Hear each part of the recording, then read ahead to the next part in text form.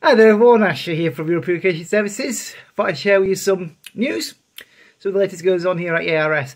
So, if you follow us on TikTok, Instagram, Twitter, Facebook, or any of them, you'll probably already heard this piece of news, but we've added a new vehicle to the fleet. Well, news to our fleet anyway.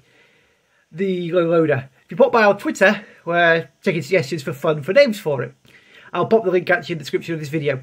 We've also requested off the OTC, which is the Office of Traffic Commissioner, which runs UK transport fleets at the government level, permission to expand our fleet and add additional vehicles to our licence.